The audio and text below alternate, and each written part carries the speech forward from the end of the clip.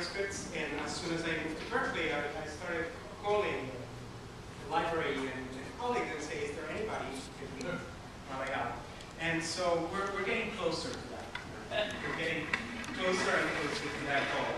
Uh, but uh, started with the manuscripts and then uh, and then continued plotting my way through the collection through the amazing aid of our colleagues here, our registrar Franklin here at the, at the, at the Magnes, really rediscovering a collection that was put together about 45 years ago and never fully praised and understood in its, uh, in its details. So a lot of the work that we've done over the last year was to create big piles of the different provenance of the materials and then start going deeper and deeper and more into, into the materials and discover it.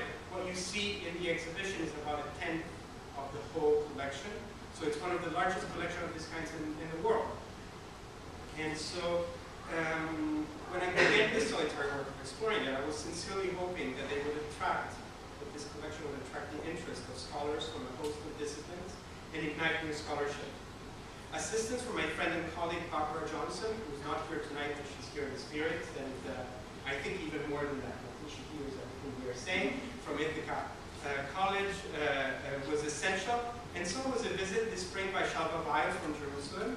Among other things, they both led to establishing new connections on the UC Berkeley campus and at Stanford, and the fact that we're all here together tonight is very much a result of those uh, peer-to-peer uh, network of uh, scholarship within campus and, and, and beyond.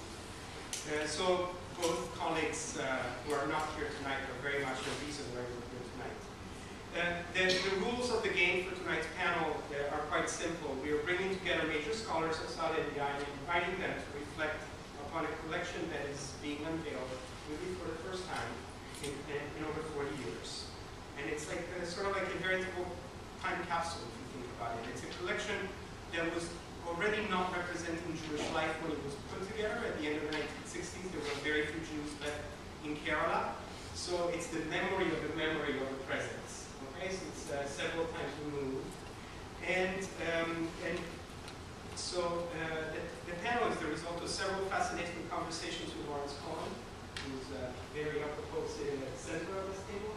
Uh, tonight, Lawrence visited the Magnes as the research for the exhibition was going on and has been following the work we've been doing here step by step. Together, we designed tonight's discussion as a truly multidisciplinary discussion. And as every multidisciplinary context, essentially, we kind of know what we're putting in, what we're putting on the table, we're laying out, but we're not really sure what the outcomes will be. Although my main question for this uh, panel and in general for, uh, for the work to do after an exhibition is put up etc., is what next? What do we do next? The exhibition is a chance to, to catalyze energies and, and attention, but uh, the collection still needs to be explored further, and, and, so what directions do we take this together as a group, no longer as the solitary work of a curator in a back room of a museum. Uh, we, so we don't know exactly what will emerge, but we do know that the topics discussed will involve language and literature, history and anthropology, music and political science, and that each of the contributors will help us broaden our understanding of the global world represented in the Magnes collection, documenting a small and everything but margin community of men and women across Kerala, Israel, and America. So it's my pleasure to introduce our speakers in the order in which they will present tonight. This way you'll find out what the order is.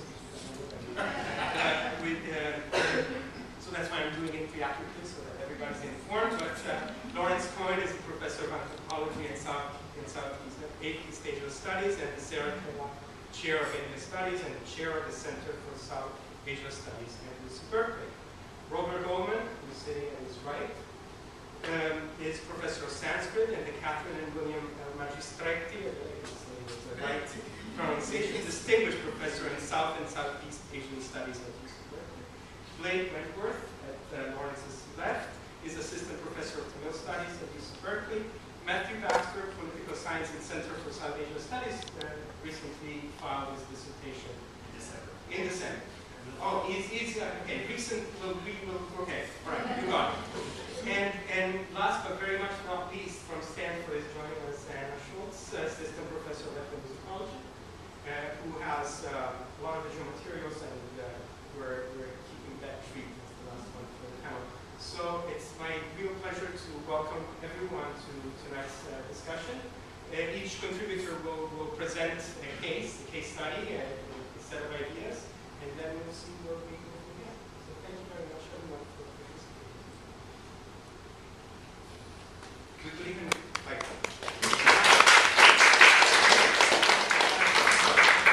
So I think.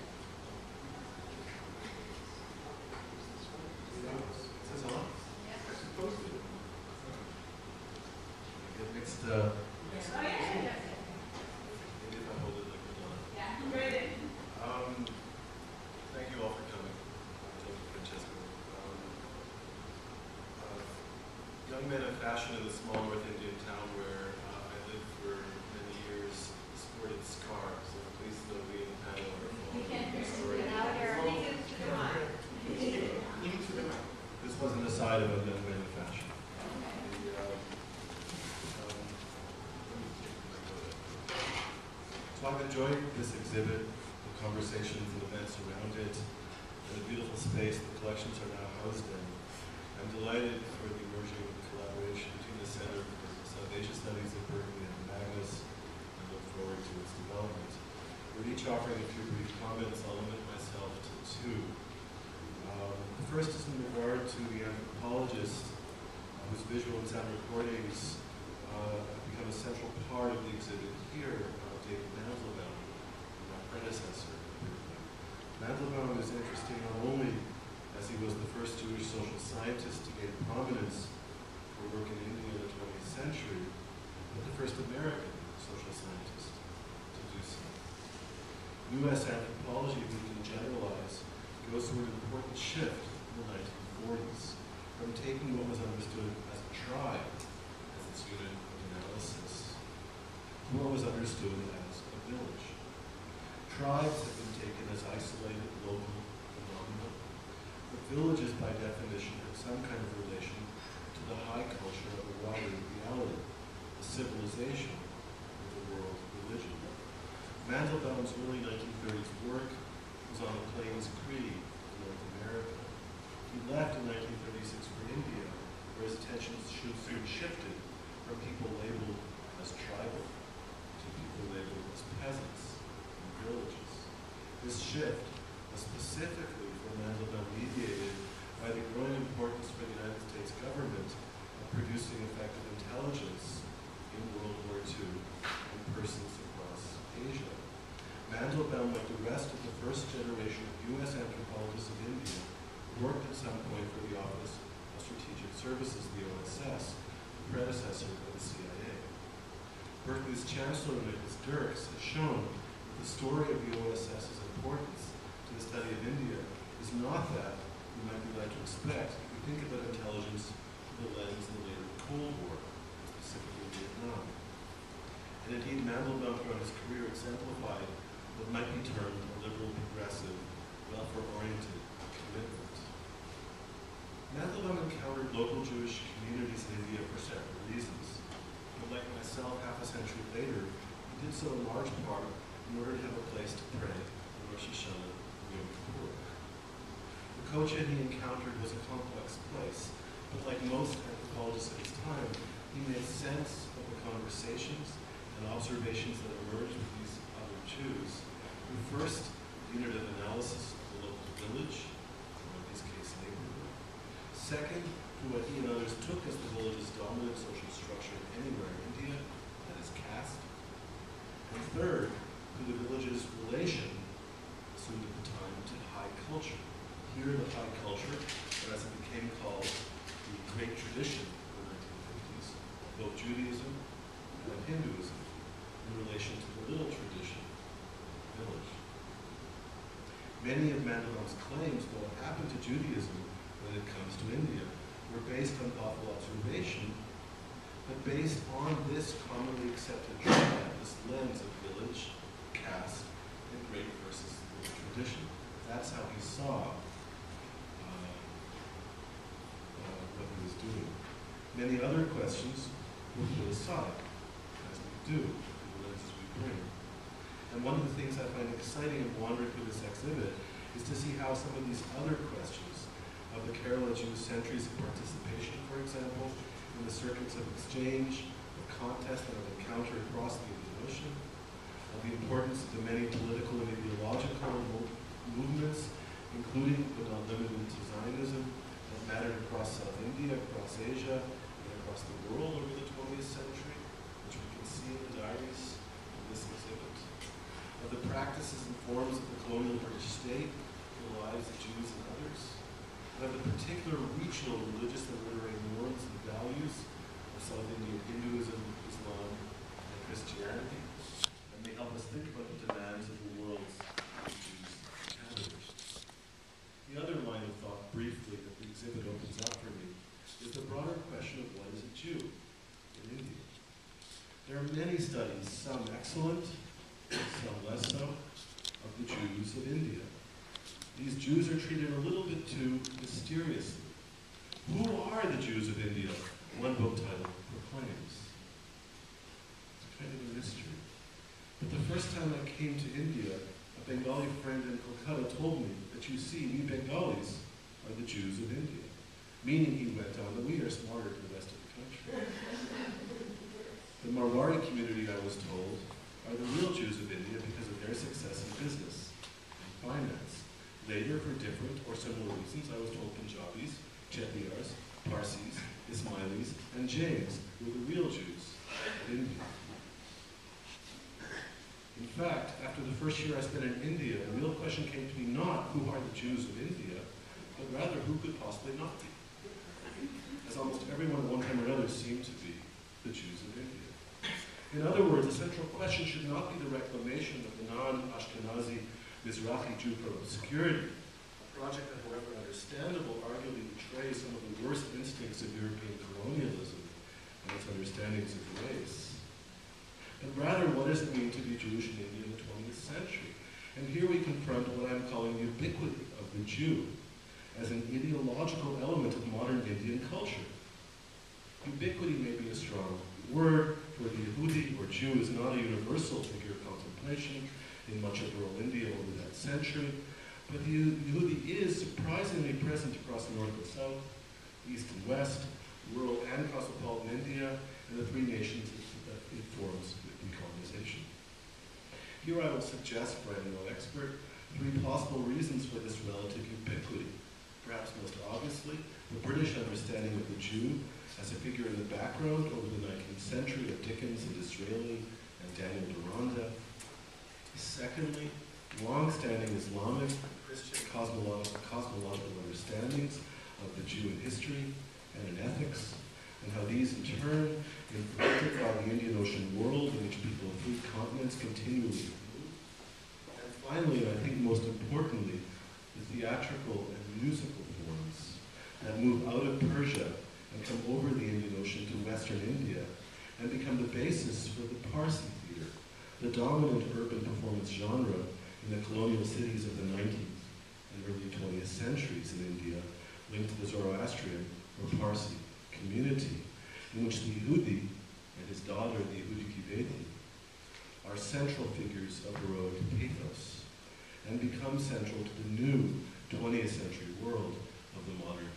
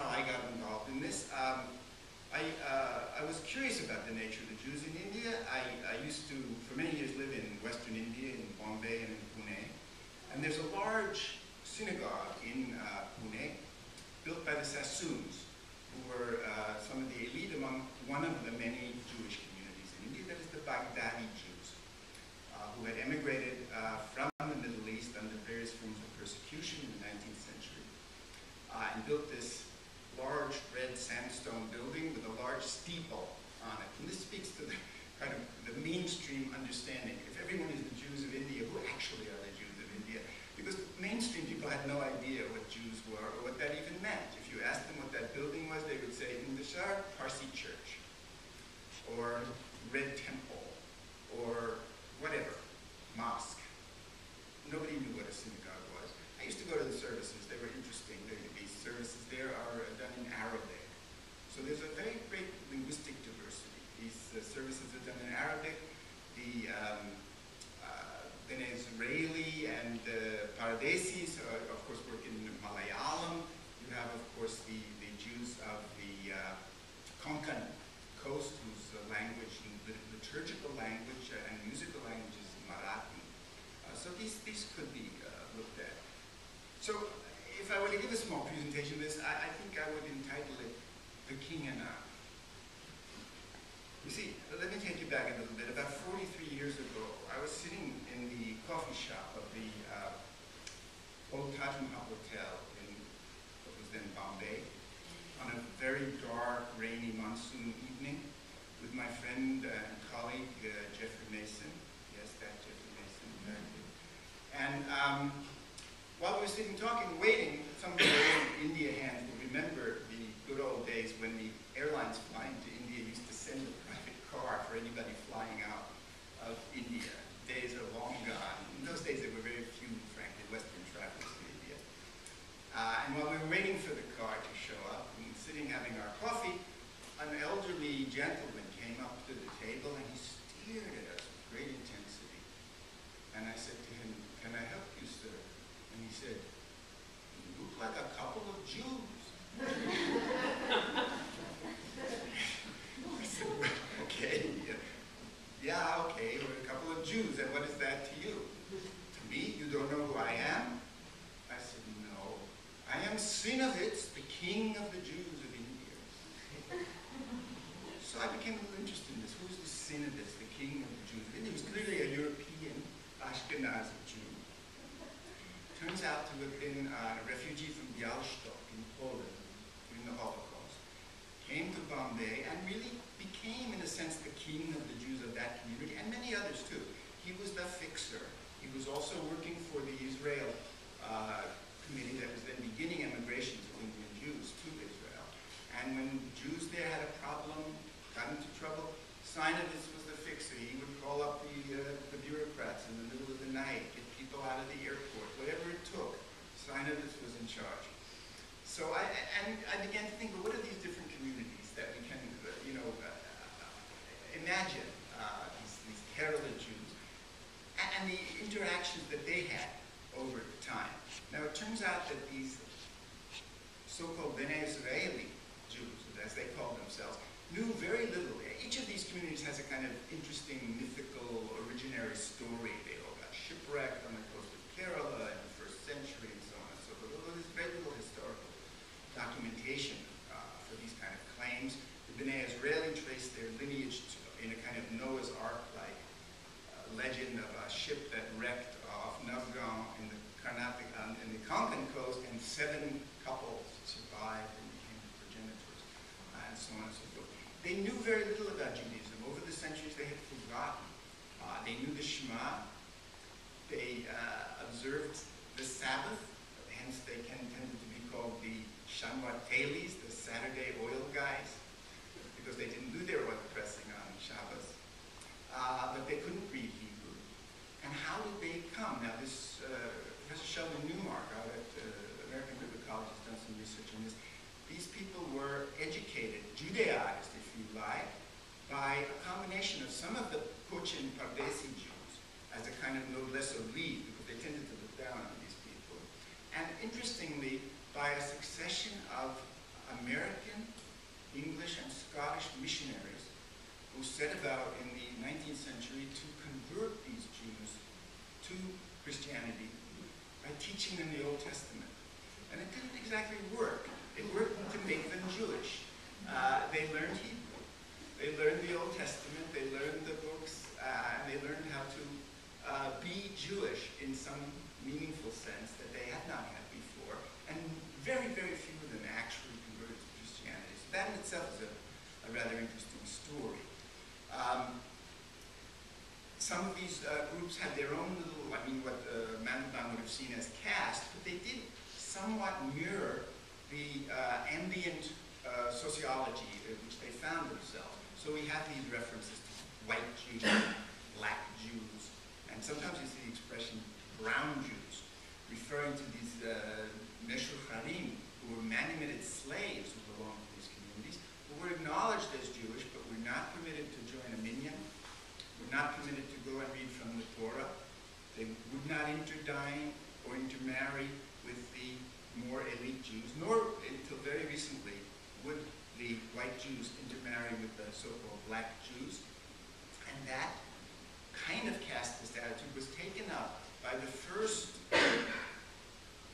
actually probably the first Indian Jew to get a university degree. It was Abraham Barak uh, uh, Salem, who, Salem, who began a kind of what you might call Gandhian satyagraha type of uh, uh, movement to try to more better integrate these uh, communities, and finally succeeded. So by, by the early uh, mid 20th century and a little bit later, those kind of exclusions tended to dissipate, and especially as people began to become more involved in the Zionist movement.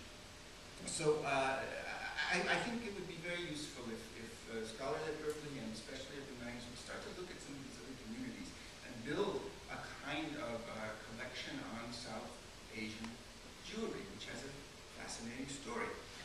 At the time, I didn't know whether this, sign of this was just some prank or pose or whatever it was. So I began to do a little research on that. I was very puzzled at the time.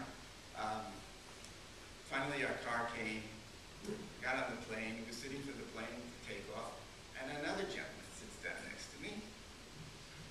And I started to chat with him. I said, who are you? He says, my name is Jan Spitz. I'm the king of the Jews of India. so I said, wait, hold on a second. I just met Sinovitz, He said he's the king of the Jews of India. I said, that bastard. he thinks he's the king of the Jews. Let me tell you. So let me tell you that. That was my story of the king of India.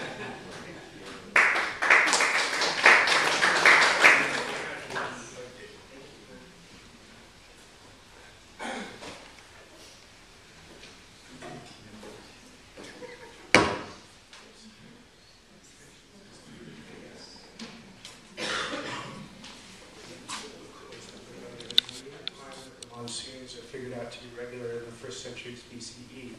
It far transcends just the Jewish presence. So you have people moving from caravans out of the Mediterranean down either the Persian Gulf or the Red Sea, shipping over to coastal Gujarat, down to the west south coast of India, onto the Straits of Malacca, into the South China Sea, and we're up to Guangzhou.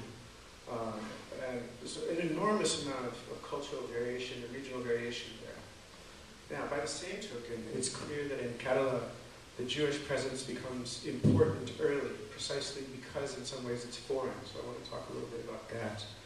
I think anyone who goes to Cochin will see the lovely synagogue that's there, of course, and also the colorfully if directly named Jewtown, which is the, the heart of the spice trade that moves out of Kerala. Um, these two things, particularly the, the spice trade, have long roots. So let me, let me talk about this a bit by talking about two copper plate inscriptions uh, that mark the first recorded presence of Jews in India. This is not to say that there isn't earlier foreign presence. Um, in the 7th or 8th century, we already have crosses on the Kerala coast that have Christian Pahlavi writing on them. Uh, but these inscriptions are a bit later. So let me start with the first one. These copper plates are known as the Kollam plates of Sthanu Ravi. And so let's take you there. If I can use the teacher's friend, Google Earth. A little too much zoom there. Okay. Zoom, zoom. Hmm, Well, it's not helpful at all. It doesn't give me the opportunity to pan out. So you know what I'm going to do? It's in Kerala. It's just a little bit south of Cochin. Okay. Farewell, Google Earth. Now, okay, there's the important stuff. These copper plates were promulgated in 849 CE. And what they do is they give land, they give tax concessions, they give slaves, and they give trade rights to one Mar Sapir Iso, who is a founder of a mercantile center in Kerala and a major figure in the Syrian Christian Church of Tarsus in southern Turkey. so the Jews yet haven't made their presence at this point in 849 CE, the copper plates. Um, what we have in this grant is the first recording of an influential permanent settlement of traders from foreign lands on the Kerala coast. And Mar Sapir Iso, who is the recipient of this grant, is described as the founder of a nagara. So that word is important. Uh, it means a mercantile trading center that has walls, and taxes are executed for people to pass through those walls. So, Mar Sapir Iso appears to have been invited to settle in this area by the local king. Why would this have happened? Um, it involves regional power politics for the Pandyan kingdom of the southern Siberia had a very thriving international harbor. And this fledgling ruling polity of the Cheras also needed a harbor. So they're willing to give a lot of concessions to someone who can make this a thriving city. This happens right after a significant military victory against the king who's giving this grant. So he's fairly desperate to make sure that he can get some serious revenue quickly. And let me just give a sense of what these things look like. As you can see them up on the wall here, these replicate the copper, or excuse me, the palm leaves that they would have been recorded on. Uh, and so these are permanent honorary copies. Honorary to the extent that they're still possessed by the Christian churches now, that they were given to uh, a thousand years and change ago. So they're written in the Tamil language. Important to note that Malayalam and Tamil had not diverged at this time period in 849. Um, and then there's a very mysterious overscript in the center, and if anybody can read it, I'd love to know what it means, because it's still undeciphered. Um, and I'll just move quickly through these plates till we get to something very interesting. You can see they're kind of beaten on, but still fairly good condition. And all in Tamil so far in Vaparathiya. But then we come to an interesting phenomenon, which is the signatories to this grant. So these would be the witnesses that are present at the execution of the grant and the conferral of land, uh, are presented in various scripts indicating their foreign presence. So we have uh, Kufi Arabic, we have Pahlavi, we have Vatarti, and we have Hebrew. So if you look, this is the back of this plate, you can see signatories in Judeo-Persian. And right above in Pahlavi. Now I have neither of these scripts, so this is what I've been told by is true. Um, what's going on in this grant? It's a long one, so I don't want to give you the whole thing, but I can tell you in, in sum, um, Mar Sapir Iso is being given land for the execution of his trade. That land is his to control, which means it's independent of the control of the king who's conferring it. Taxes are remitted so that he doesn't have to pay the customary dues to the local lord. Symbolic privileges of ruler granted, and I want to get back into that a little bit more later, which means that Sapir Iso has the right to carry a parasol. He has the right to ride on a horse. He has the right to per, uh, process through a ceremonial gate. More on this in a moment, but just to get ahead of myself.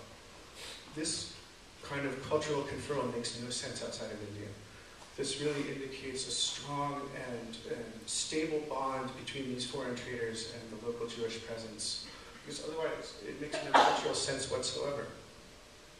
Still further, Mar Sapir Iso is given the right to execute, execute law on his land. So punitive law from his own foreign culture is perfectly acceptable within his walls. And then we have a very interesting line. And this is where the Jewish presence comes in and these signatures start to make sense. Namely, two trade guilds, the Anjuvanam and the Manigramam, are called upon to make sure that the grant is enforced as long as the sun shall shine and the moon shall stand, etc., etc. The Anjuvanam and the Manigramam are interesting terms. Both of them refer to trade guilds, and for quite a while they were thought to be synonymous. Um, they're not. What, what, what happened right about this point is you have a major splitting of trade guilds between those that are primarily concerned with the inland riverine systems and those that are cons- um, concerned with long-haul oceanic shipping. The Anjuvanam is the long-haul oceanic, ship, oceanic shipping guild, and it consists primarily of Arabs and Jews at this point. The money Manigramam is local and Tamil. All the signatories here are from the Anjuvanam. So these are signatories from the guild saying, yes, indeed, they will execute this grant in perpetuity. So we don't have a direct record of Jewish presence in this uh, inscription, other than in sort of a shadowed terms of, as signatories to the grant. We don't really understand their own cultural presence in the land at this point. We do, however, in a grant that comes about 100 years later. And this is the second and final grant that I'd like to speak about a very famous, let's see if I can it in here. Yeah, nice. Um, this grant was promulgated in the convenient year 1000 um, under the kingship of a king named Bhaskara Ravi I, local ruler of, of the Kerala country. Also composed in the Tamil language, also inscribed in Vattarati script. And what we have here is the conferral of royal privileges on a Jewish merchant of the Anjuvanam, so of this Oceanic Shipping Guild, named Joseph Rabban. So I just want to go over the inscription a little bit to, to note some of the really fascinating things that are happening here. Um, very standard inscriptional beginnings, nothing surprising there. Um, but note that the direct uh, claim of royal authority in the conferral of this grant. That's not a universal feature. Very often governors or lesser lords would be conferring grants. So the fact that the king himself is giving this grant is an indication of the strong links behind uh, foreign trade on the coasts and more inland central political polities. We note immediately that Joseph Rabban is not uh, identified by any other feature other than that he's a member of the Anjuvanam. It's interesting at this point. This could well mean that the Anjuvanam and the Jewish trading presence are for this king synonymous rather than being broken into different factions. So he gets his tax remissions, he gets his dues, but most of this you see is the conferral of these royal privileges. Right? He has the right to use a lamp in the daytime, to use decorative cloths to sit upon. Uh, he's carried in a palanquin, very nice. He gets the, the parasol, the, the peerless symbol of royal prerogative, and so forth. The trumpets blast when he walks around. He gets to process through the ceremony of gateway and the arches. His house can be built in a specifically royal, lordly way, and so forth. These are privileges that make no sense whatsoever outside of the larger articulation of Indian political systems. Um, the sumptuary, aesthetic, and gustatory qualities of lordship, being an Indian king, are what are being conferred to this merchant right here. This means that he is there for some time. This is a stable presence. And that he's essentially being treated as a liege lord in the larger articulation of politics in coastal Kerala at this point. And you note the end of the, the grant says exactly this, um, that this prerogative that he's been given as the director of this trade guild will pass through his own hereditary descent, both on the male and the female side. Interesting there. Um, matrilineal possibilities out of that area of Kerala, certainly, but I'm not certain I want to be that confident in saying that's why it is. It certainly is quite interesting. Um, the Anjuvanam starts to set down permanent bases on Kerala soil uh, right about this time, in the year 1000. And without taking too much time, I just wanted to look at uh, some of the ideas behind this conferral of privilege. I think the one that's most important to me terms of referring to the Jewish presence in Kerala is that these claims to territory in India are being governed by a basic sense that the sea is a neutral zone over which polities can extend their trade and share cultural exchange, but it's not sought as a place to control. It's very, very rare in the history of the Indian Ocean trading systems that a single polity will try to control the waters. And for this reason, the ocean coast, in contrast, for example, to coastal China, where the sea can often be seen as a, a zone of threat, the coast of Kerala becomes a zone of opportunity, one in which kings will do almost anything such as the setting up of these special economic development zones to ensure that a good amount of revenue is coming in. And we know from subsequent inscriptions in history that this Jewish presence never left. And uh, I think it's a fairly minimal presence in Kollam today after emigrations to Israel, but it's still there. Thanks.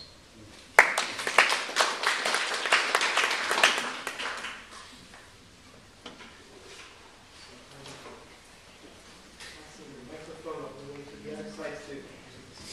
1938 provides us with a window into the life of a South Indian Jew named Abraham Barak Salem, whose diaries constitute an important part of the Global India exhibition here at the Magnes Collection of Jewish Art and Life. As a lawyer, we see Salem consumed with trials inside and outside the court. As a periodic member of a Legislative Council, we see him constantly concerned with elections. As a husband and father, we see him celebrating his 23rd year of married life. As a man in his 50s, we see him in conversation with his doctor over heart medication. As a figure of influence, we see him investing in financial matters, taxes, and a chamber of commerce, even buys a going lottery ticket that month. As a labor activist, we see him providing advice at worker meetings and attentive to strikes by local rope makers.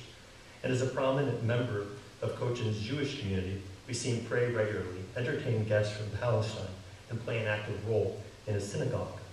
And on the 21st of November 1938, uh, 38, the synagogue held a special prayer recited for the German Jews' persecution by Hitler and the Nazis. This special prayer was a response to Kristallnacht, pogrom against Jews in Austria 75 years ago this month, that entailed the murder of Jews, the widespread destruction of Jewish property, such as shops and synagogues, and the mass incarceration of Jews in concentration camps that foreshadowed Hitler's final solution. Reports of the events were central in turning global opinion against Hitler, sparked international outrage, and represented the peak of German opposition to the Nazis' racial, racial policies. My short presentation today briefly touches on perhaps one of the most surprising yet troubling responses to Kristallnacht, that of Mahatma Gandhi, and how such troubling particularly concerned two Jews living in Palestine at the time, the San Francisco-born Judah Magnes, after whom this collection of Jewish art and life is named, and the German-born theologian Martin Buber. The question that subsequently arises engages the regional imaginary of this exhibit, in Global India, namely Kerala, Israel, Berkeley, and could, I suggest, be simply posed as, what would it mean to be a Jewish Gandhi? This is the Jewish Gandhi question. On the one hand, a Jewish Gandhi may seem hopeful. Such hopefulness is captured in the figure of Abraham Barak, uh, uh, Barak Salem himself, sometimes simply referred to as a Jewish Gandhi, uh, because of the ways in which he modeled his own demands for social justice in, which is, uh, in what is now the South Indian state of Kerala. Salem was born into the lowest rung of the trifurcated Indian Jewish community in Cochin. Such lowness is articulated in ways familiar to those who study Indian caste, as Bob mentioned. Uh, Salem's particular community of Cochin Jews was forced to sit in the back of the synagogue, was last to participate in Jewish services, uh, played a servile role in Jewish rituals, was not allowed access to the burial grounds of higher community Jews, had segregated ceremonies such as weddings and circumcisions and so forth. Salem led a social and religious reform movement of Cochin Jews through acts of nonviolent civil disobedience modeled on Gandhi and satyagraha, such as fasts and refusing acts of segregation and degradation. From the 1920s to the 1940s, Salem, as a Jewish Gandhi, made substantial gains towards establishing more egalitarian relations among the three communities of Cochin Jews. On the other hand, and this is the hand that I will focus on, a Jewish Gandhi may seem horrifying. On the 26th of November 1938, in the immediate wake of Kristallnacht, Gandhi published an essay simply titled The Jews. Despite claiming that, quote, my sympathies are all with the Jews, the untouchables of Christianity, Gandhi's essay is disturbing. He claims that the Jews of Germany should engage in nonviolent resistance or satyagraha against the Nazis rather than seek a national home in Palestine. Such position was premised on an act of comparison with his own experiences in South Africa and encouraged Gandhi to embrace the possibility of Jewish massacre. He writes, the calculated violence of Hitler may even result in a general massacre of the Jews by way of his first answer to the declaration of such satyagraha. But if the Jewish mind could be prepared for voluntary suffering, even the massacre I've imagined could be turned into a day of thanksgiving and joy that Jehovah had, had wrought deliverance of the race.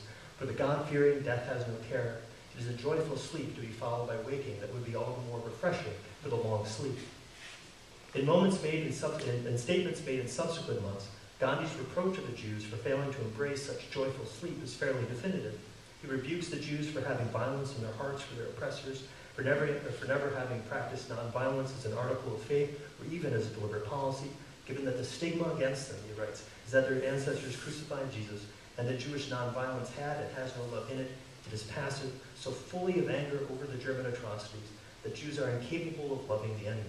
As he writes in one passage, I can conceive the necessity of the immolation of hundreds, if not thousands. Gandhi had made less graphic, but not entirely dissimilar remarks before.